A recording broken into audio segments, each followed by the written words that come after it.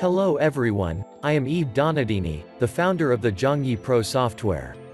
Today, we are going to look for a single point on which to act in case of anxiety. We will first open the list of symptoms and search for the word anxiety. We can see that only one of the suggested points is actually symptomatic, the heart shu point of the back. The others will have an action to treat the anxiety, but more in relation to an associated pattern. In fact we are going to use only one point, which will be different depending on the involved pattern. To view a summary of the characteristics of each point, just hover over the small i on each line. For example, here for kidney 7, we see that it strongly nourishes the yin and especially the kidney yin.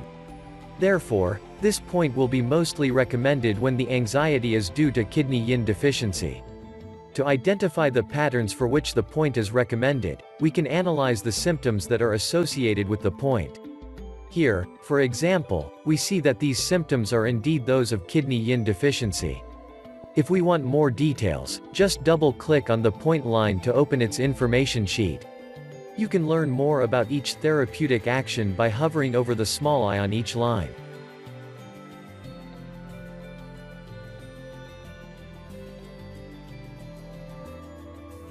Again, for more details, we can double-click on the line to open the therapeutic action sheet and read more information about it.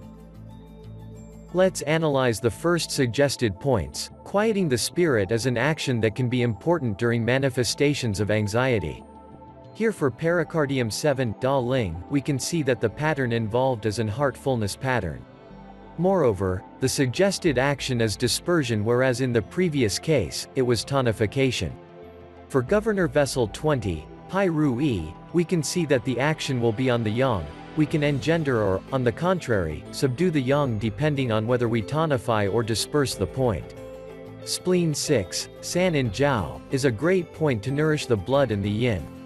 The responsible symptom will obviously be a blood or yin deficiency. For heart 7 Shen Men, it is a heart blood and or qi deficiency. For kidney 4 Da Zhong, a kidney qi, jing or yin deficiency. Conception vessel 14 is an interesting point in case of heat in the chest, heart, stomach and or lung to quiet the spirit among other actions when a pathogenic element is lodged in it. It is also a very useful point in case of COVID, when the symptoms match. And to end our analysis, bladder 15, Xin Shu, heart shu of the back point, which we can see is accompanied by an S which means that it is symptomatic. That is to say that it will work no matter what the responsible pattern is. Indeed, we see that it allows to nourish the yin, to supplement the qi, and to nourish the blood of the heart, to rectify the qi, to clear the heat or even to warm the yang depending on whether it is used in tonification or dispersion or even moxibustion. This is the end of this short analysis. Such a test can be conducted for many different conditions and symptoms if you are looking for an effective single point. Of course, you can also use Zhongyi Pro to conduct more detailed pattern searches when looking for entire point or pharmacopoeia formulas. If you are interested in these types of searches, I recommend you watch the other available videos. I hope this video has been useful to you, thank you for watching. Feel free to download the freemium version of the software if you haven't already. Thank you all.